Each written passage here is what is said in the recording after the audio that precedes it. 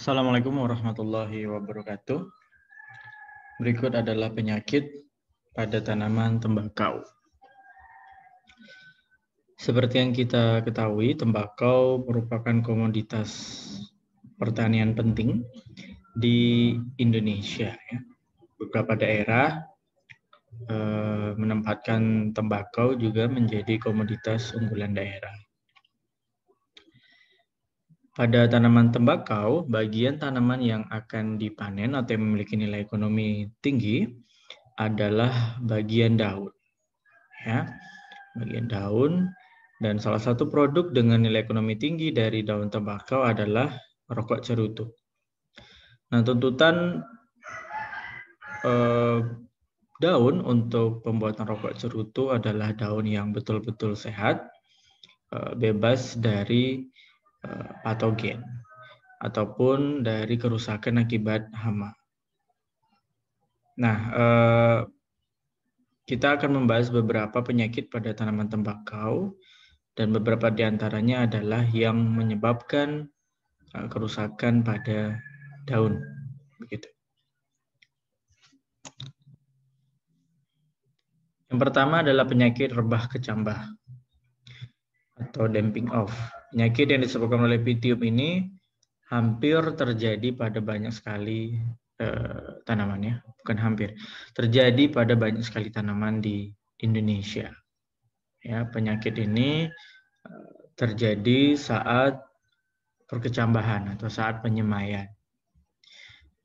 Patogennya adalah Pitium species yang menginfeksi tanaman pada fase perkecambahan. Seperti yang mungkin sudah sering saya sampaikan pada materi-materi yang lain, Pitium dan Pitoptora itu tidak lagi kita sebut sebagai kelompok jamur. eh, sebuah jurnal saya temukan setidaknya 2018, mungkin dari sebelum tahun 2018 sudah ada yang eh, menulis juga tapi setidaknya saya temukan di 2018 itu sudah ada satu jurnal yang menulis bahwa uh, Phytophthora dan Pythium itu sudah dibedakan dengan kingdom jamur atau fungi yang mana keduanya sekarang masuk dalam kingdom chromista. Walaupun begitu, baik Phytophthora maupun Pythium ini memiliki morfologi yang sangat mirip dengan jamur ya. Punya hifa begitu ya. Ada spora dan sebagainya. Sama. Mirip ya. Mirip seperti jamur. Sehingga cara kita mem, uh, menghandle atau mengerjakan Phytophthora Pithium ini sama dengan seperti kita mengerjakan jamur pada umumnya. Media yang digunakan, bagaimana cara perbanyakannya sama.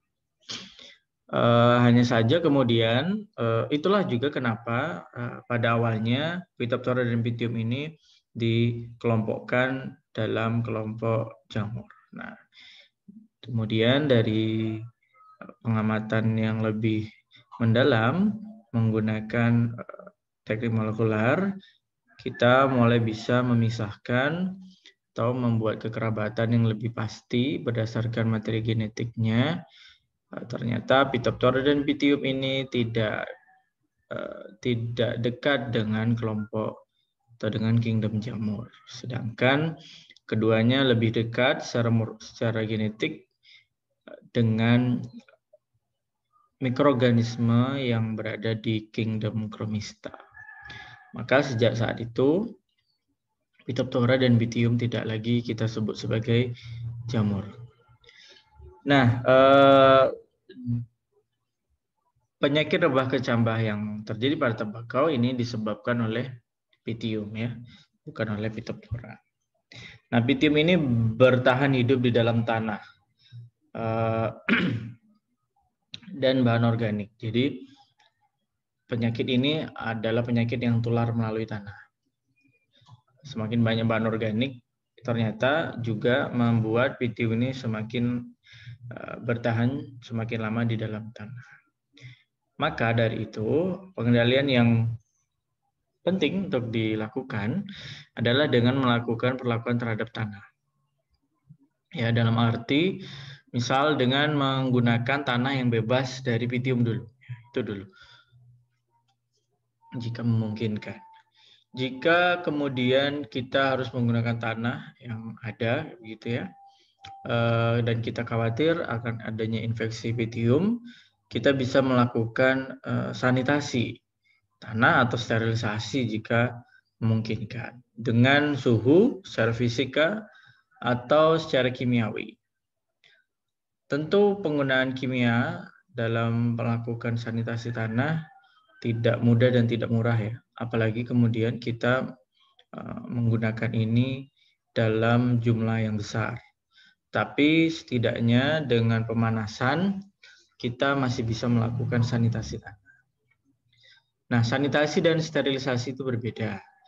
Sanitasi itu e, tujuan akhirnya hanya mengurangi jumlah populasi patogen yang ada di dalam tanah. Sedangkan sterilisasi itu tujuan akhirnya adalah memusnahkan seluruh makhluk hidup yang ada di dalam tanah itu. Jadi e, yang tadi saya sampaikan adalah sanitasi, hanya sekedar untuk mengurangi. Nah, eh, ini mungkin karena kita bicara tentang proses persemaian ya, atau perkecambahan yang mungkin dilakukan pada eh, area-area pembibitan dengan eh, pot kecil atau dengan polybag kecil sehingga menggunakan tanah dalam jumlah yang sedikit. Jadi masih bisa kita lakukan kegiatan sanitasi dengan cara pemanasan atau secara fisika. Pitium memiliki kisaran yang cukup luas. Oleh karena itu, rotasi tanaman itu juga bukan cara yang efektif untuk mengendalikan pitium. Ya, bukan merupakan cara yang efektif. Uh, paling tidak begini, karena pitium ini menginfeksi fase perkecambahan, yang artinya apa? Yang artinya tanaman muda yang merupakan fase paling rentan setelah tanaman melewati fase perkecambahan, maka tanaman ini relatif tahan terhadap pitium. Maka yang bisa kita lakukan adalah melakukan pembibitan di area yang eh, terbebas dari pitium.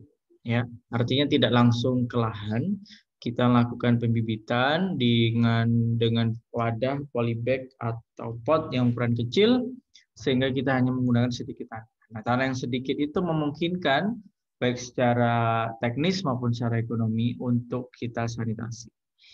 Ya, sehingga kita memperoleh tanah yang betul-betul terbebas dari pitium. Nah, tanah itu yang kemudian kita gunakan untuk mengecambahkan tembakau ya untuk hidup tembakau ketika dia masih dalam fase rentan, yakni fase perkecambahan. Setelah tembakau melewati fase itu, kita kemudian pindah ke lahan. Nah, apabila di lahan ada pitium, nah, tembakau yang ada yang kita tanam adalah tembakau yang usianya sudah melewati fase kecambah. Jadi, kita harapkan dengan cara itu, dengan strategi tersebut, kita bisa membebaskan tembakau yang kita tanam dari penyakit damping off atau penyakit rebah kecambah atau rebah semai yang disebabkan oleh pitium. Gejala penyakit ini pangkal penyakit, pangkal bibit. Jadi karena penyakit ini eh, atau patogen ini berada di dalam tanah, jadi yang diinfeksi oleh pitium dan yang kemudian busuk itu adalah bagian pangkal batang atau mendekati akar ya. Pangkal bibit, pangkal bibit berlekuk seperti terjepit. Teman-teman bisa lihat di foto eh, yang atas ya. Kenapa seperti terjepit? Karena diameter uh, bibit itu sebetulnya tidak sekecil itu ya. Teman-teman bisa lihat yang bagian atasnya itu diameternya lebih besar, sedangkan yang busuk atau yang bergejala itu menjadi lebih kecil, seperti dijepit gitu ya, sehingga mengecil. Uh, busuk kemudian berwarna coklat, bibit menjadi layu ya, karena kemudian uh, transportasi hara dari bawah ke atas tidak dapat terjadi sehingga kemudian bibit menjadi layu dan kemudian kering secara mendadak. Ya. Seringkali infeksi terjadi pada akar atau pada pangkal batang, sementara pada daun jarang terjadi infeksi. Ya. Jadi kebanyakan nanti kita akan temukan di bagian bawah itu. Jadi uh, ini untuk tembakau dan tanaman lain. Jika teman-teman kemudian menyaksikan dalam pembibitan uh, terjadi layu ya yang secara tiba-tiba, teman-teman bisa cek ke pangkal batang yang dekat tanah, apakah batangnya seperti terjepit dan busuk. Jika iya, oke, okay. kita tahu ini masalahnya pitium dan kita tahu harus berbuat apa. Ya, kita uh, harus menggunakan tanah yang sudah disanitasi atau tanah yang masih terbebas dari PTM. Ini adalah foto gejala uh, di pembibitan. Jadi terjadi layu. Ya padahal ya tentu sudah diairi, sudah diberi air, tanahnya basah tetapi kok masih layu. Uh, kemudian setelah itu kita cek pangkal batangnya ternyata ada bagian yang membusuk dan seperti terjepit. Nah, ini kemungkinan besar adalah uh, rebah kecambah yang disebabkan oleh bitium. Nah, rebah kecambah ini juga ada yang disebabkan oleh jamur rhizoctonia. Jadi bisa bisa bisa antara dua itu. Tapi perlakuannya tetap sama ya. Ini infeksinya mulai dari bawah, patogennya ada di tanah dan yang harus kita lakukan adalah menanam tanaman yang eh, menanam dengan tanah yang terbebas. Perkembangan penyakit dipengaruhi oleh kelembaban yang tinggi di sekitar area pembibitan. Karena itu sebetulnya teman-teman, setelah fase pembibitan pertama, tanaman semakin besar, kita perlu melakukan penjarangan. Ya, seperti pada foto ini, apa yang salah dan menyebabkan terjadinya infeksi yang sangat besar adalah setelah tanaman cukup besar ini, tanaman tetap berada di dalam eh, nampan itu atau dalam tray perkecambahan Padahal daunnya sudah daunnya sudah sangat lebar sehingga ketika kita lakukan penyiraman uh, air banyak terjerembab di bagian bawah atau mendekati tanah ya bisa dibayangkan ya karena uh, tertutupi oleh daun-daun tembakau yang sudah mulai besar sehingga kelembabannya tinggi. Nah, sehingga kelembaban tinggi telah kemudian muncul video.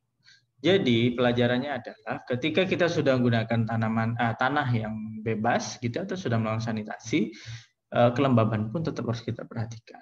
Ya, jarak tanam kita harus bisa perhatikan. Jika memang di dalam tray ini kelak tanamannya akan dibiarkan beberapa saat hingga ukuran daunnya tertentu begitu ya, maka kita perlu melakukan pembibitan dengan jarak tanam gitu ya. Tidak bisa di setiap lubang kita semai biji. Berarti harus kita beri jarak yang lebih lebih lebar. Mungkin dalam satu tray ini yang biasanya diisi 96 tanaman gitu ya, kita bisa kurangi hingga 40 atau hanya 20 tanaman gitu ya. Kecuali jika uh, memang kita hanya akan mengecembahkan sebentar sebelum tanaman punya daun cukup besar kita mau pindahkan ya monggo lah. Satu tray dipenuhi hingga uh, 100% penuh gitu ya. Jadi uh, pelajaran kedua adalah uh, kelembaban dalam pembibitan itu perlu kita perhatikan. Banyaknya embun yang terjadi pada waktu malam, uh, penyebaran biji yang terlalu rapat, serta pemberian pupuk nitrogen yang terlalu banyak juga mempengaruhi penyakit. Yaitu tadi yang kurang lebih yang kita sampaikan.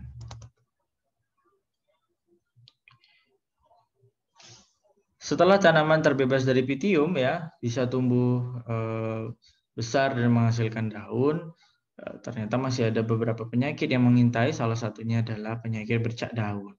Nah, penyakit ini juga disebut sebagai penyakit mata katak karena katanya gejalanya berupa bercak ini menyerupai mata katak. Eh, kondisi lembab daun yang terinfeksi menjadi berwarna kuning. Ya, jadi eh, infeksinya banyak terjadi ketika keadaan lembab daun itu kemudian menjadi kuning awalnya menjadi ada bintik kuning yang kemudian akan menjadi busuk. Sedangkan pada kondisi kering, jadi pada keadaan yang cuaca kering, eh, daun menjadi kering dan rontok. Eh, itulah eh, gejala bercak daun. Teman-teman bisa lihat di gambar yang terjadi pada daun tembakau. Nah, daun sedaun seperti ini jelas sangat tidak masuk dalam kriteria daun untuk pembuatan rokok cerutu ya.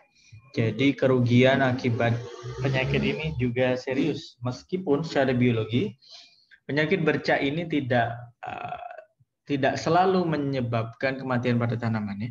Karena bercaknya kecil dibandingkan dengan luas daunnya, tanaman masih bisa berfotosintesis, masih punya cukup energi untuk tumbuh. Akan tetapi kaitannya dengan tujuan manusia membudidayakan tembakau, maka penyakit ini menyebabkan kerugian yang sangat besar. Jadi secara biologi tidak terlalu rugi tanamannya, tapi secara ekonomi kerugiannya besar.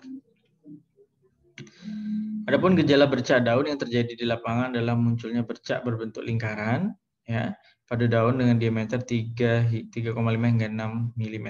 Bagian pusat lingkaran berwarna putih dan bagian tepinya berwarna coklat tua dengan teman-teman bisa lihat ada halo di sekitar tanaman ini. Nah, bercak-bercak kecil ini kadang kita tertukar dengan drip drip herbisida ya yang juga menyebabkan bercak-bercak kecil karena ada uh, tetes-tetes um, herbisida yang menetes pada daun. Untuk membedakannya, kita bisa lihat jika terjadi halo di sekitar bercak, maka ini adalah bercak yang disebabkan oleh uh, biotik, faktor biotik. Nah, jika kemudian bercak ini menyerupai gejala yang kita sebutkan tadi, pada tembakau berarti disebabkan oleh Cercospora nicotianae. Nah, ini adalah eh, salah satu hasil penelitian mengenai eh, pengendalian Cercospora nicotianae dengan beberapa perlakuan ya. Teman-teman bisa lihat pada tabel 2. Perlakuannya apa saja? Ada P1 hingga P5 yang masing-masing dijelaskan pada tabel kecil yang ada di bawah. Jadi um, kita lihat dari tabel 2, teman-teman lihat. Hmm, peneliti mengamati keparan penyakit bercak daun disebabkan oleh Cercospora nicotianae itu sejak 20 hari setelah tanam hingga 80 hari setelah tanam. Hmm, dari situ kita lihat pada hari ke-80 ya. Pada hari ke-80 setelah tanam, kita lihat ternyata eh, keparahan penyakit cukup rendah ya. Cukup rendah pada perlakuan P4 dan P5. Yaitu ketika setelah diinokulasi daunnya disemprot dengan ekstrak kipahit ya sebesar 50 gram per liter atau 75 gram per liter. Ya. Itu bisa menekan hmm, bercak daun Cercospora nicotiana pada tembakau. Nah, itu pada hari ke-80 setelah tanam. Apakah hal yang sama juga terjadi pada hari ke-20 hingga 75 hari setelah tanam? Tentu eh, tabel seperti ini sangat menyulitkan kita untuk memahami ya eh, perbedaan dari setiap perlakuan itu seperti apa eh, pengaruhnya terhadap keparahan penyakit. Untuk itu eh, tabel seperti ini sebetulnya bisa kita olah dalam perhitungan IUDPC yang pernah juga kita bahas di kuliah teknik sampling dulu ya. Nah, ternyata peneliti dalam jurnalnya ini juga melakukan perhitungan IUDPC yang kemudian hasilnya seperti ini. Ternyata betul nilai IUDPC yang kontrol negatif ya, kontrol negatif itu artinya tidak diinokulasi dengan patogen ya.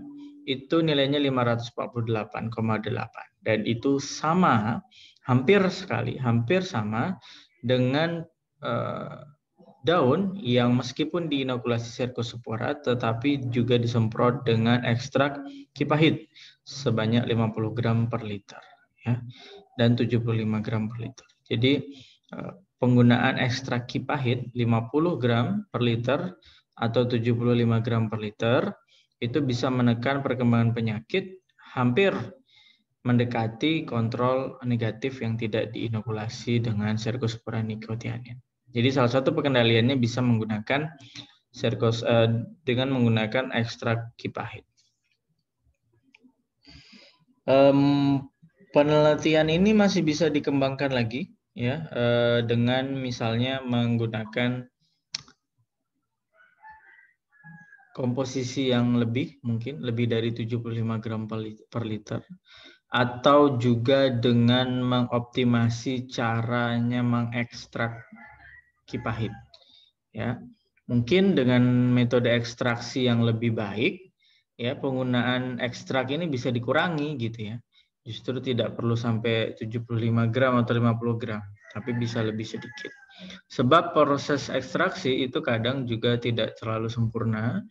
Ya, pertama tidak kemudian betul-betul me mengeluarkan ekstrak atau sari atau bahan aktif yang kita inginkan dari dari bagian tanaman begitu ya.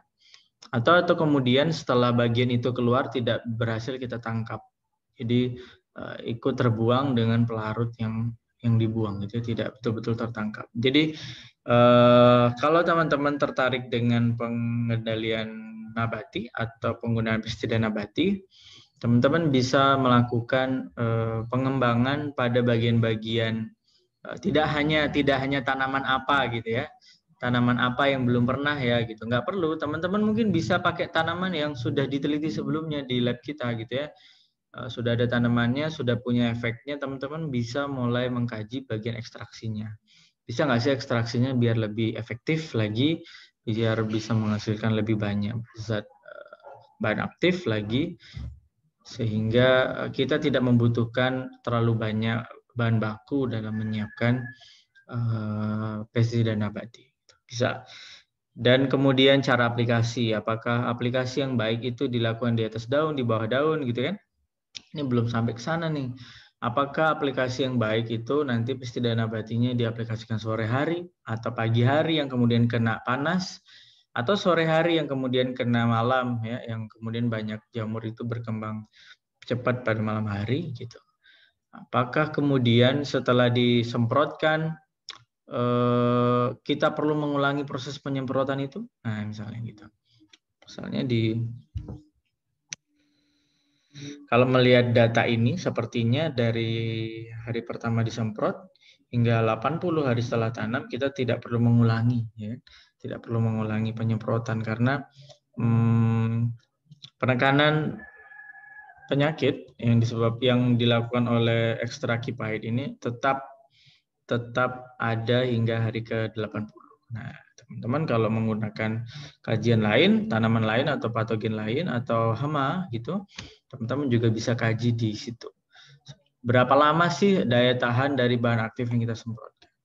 Jika ternyata hanya bertahan 4 minggu, berarti di minggu keempat kita lakukan aplikasi lagi gitu ya. Tujuannya untuk mengetahui cara aplikasi. Karena tidak hanya butuh bahan yang uh, efikasinya tinggi ya, yang yang manjur saja yang kita butuhkan, tapi juga kita butuh tahu bagaimana cara menyiapkan dan mengaplikasinya yang benar itu seperti apa. Itu juga bisa jadi eh, bahan-bahan kajian dalam penelitian pestisida nabati.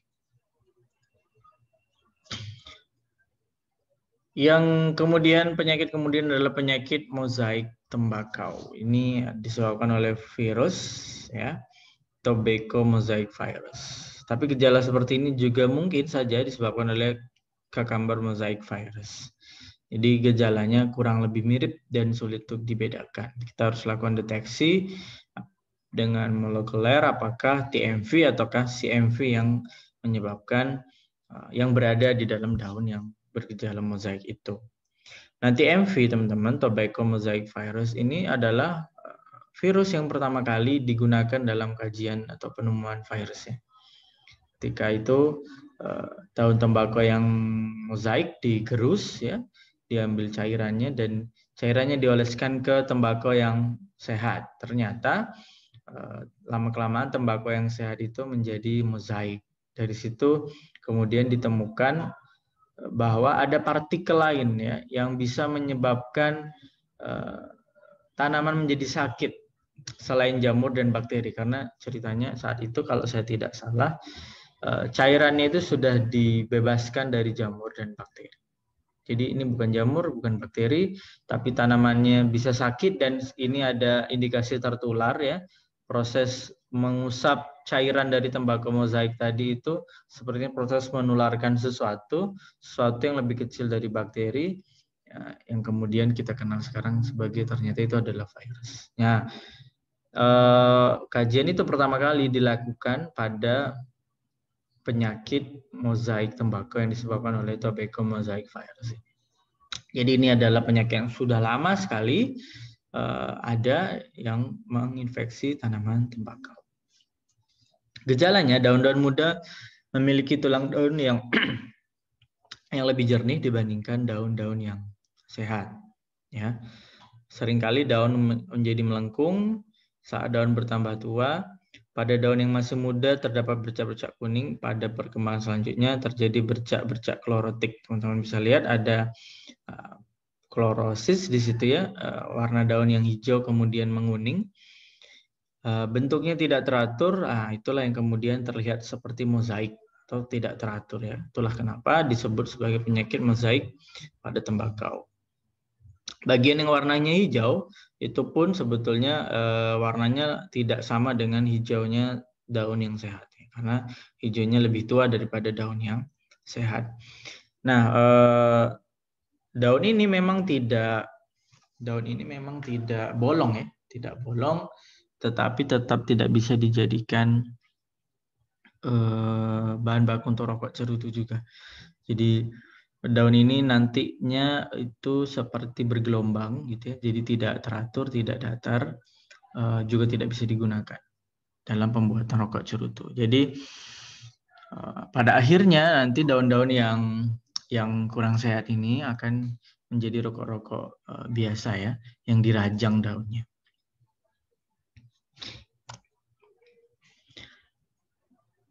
Nah, uh, jika kita bicara dengan cucumber mosaic virus, maka penularannya itu terjadi bisa melalui vektor. Ya, lebih dari 80 spesies apid itu bisa menularkan CMV. Jadi sangat merepotkan sekali. Penularan juga bisa terjadi secara mekanis, kontak atau sentuhan baik oleh pekerja maupun daun sendiri bersentuhan satu sama lain itu sudah bisa menularkan, ya. Hal yang sama juga terjadi pada TMV, tobacco mosaic virus. Jadi kalau teman-teman ke kebun tembakau, kemudian lihat-lihat, oh ini yang diceritain Pak Danar nih, ini yang tobacco mosaic virus nih, ini yang mozaik nih gitu ya. Kemudian teman-teman pegang daunnya, oh iya betul ya bergelombang, daunnya kayaknya enggak Uh, tidak seperti daun sehat pada umumnya ya. Nah di tangan teman-teman itu kemudian ada menempel partikel virus teman-teman. Kalau kemudian teman-teman menyentuh daun yang sehat, maka teman-teman menularkan TMV dari daun sakit ke daun sehat. Jadi virus TMV ini sangat uh, stabil ya di alam, sehingga penularannya mudah sekali. Dengan tangan bisa tertular, dengan alat pertanian misalnya dengan gunting dan sebagainya itu bisa menularkan. Uh, oleh karena itu kita harus hati-hati. Bahkan ya disebutkan uh, rokok cerutu yang dibuat dirajang dari daun tembakau yang terinfeksi TMV, ketika kemudian rokok itu digunakan atau dibakar dan abunya terbang, itu bisa atau punya kemungkinan untuk menularkan TMV. Karena itu petani tembakau itu nggak ngerokok di kebun tembakaunya sendiri. Jadi itu saking uh, apa namanya stabilnya virus ini di alam gitu ya. Sama ditularkan melalui luka jaringan tanaman sehingga tidak terjadi kontak tanaman sakit. Hmm, ya, jadi kontak tanaman sakit itu bisa menularkan. Uh, untuk itu juga kita melakukan pengendalian dengan cara-cara tersebut ya. Kalau CMV tadi tentu apit, beberapa perkebunan tembakau di Klaten itu uh, menginvestasikan rumah kasa dengan screen net ya, ukurannya kecil sekali porinya itu untuk mencegah apit masuk ke dalam screen net itu di dalamnya lah kemudian tembakau ditanam uh, tentu itu uh, budidaya yang sangat mahal tetapi uh, masih bisa tercover jika produk atau hasil panennya nanti diperuntukkan untuk rokok-rokok cerutu karena nilainya juga harganya juga tinggi. Jadi masih masuk dalam uh, perhitungan di sana menggunakan uh, screen net. Teman-teman kalau jalan-jalan ke arah sana mungkin bisa menemukan itu. Nah, selain itu tentu pengendaliannya dengan uh, mengeradikasi ya tanaman-tanaman yang terinfeksi mozaik. Jadi meskipun apitnya ada, kalau kemudian uh, tanaman sakitnya tidak ada, ya tidak ada yang ditularkan ya. Jadi kita perlu mengeradikasi tanaman yang bergejala. Hati-hati jangan sampai uh, terjadi kontak antara tanaman yang sakit yang sedang kita eradikasi dengan tanaman-tanaman sehat karena itu akan menularkan. Nah, berarti juga eh, kita perlu memperhatikan dalam kegiatan budidaya penggunaan alat-alat pertanian ataupun diri kita sendiri ya itu tidak boleh uh, sembarangan menyentuh bagian tanaman yang sakit.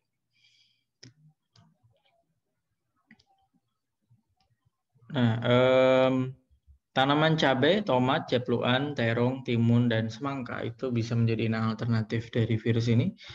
Oleh karena itu rotasi dengan tanaman-tanaman ini tidak tidak dapat menekan perkembangan penyakit TMV dan CMV. Eh, ini beberapa bacaan yang bisa teman-teman uh, baca untuk menemukan lebih banyak penyakit-penyakit pada tanaman tembakau lainnya. Demikian, Assalamualaikum warahmatullahi wabarakatuh.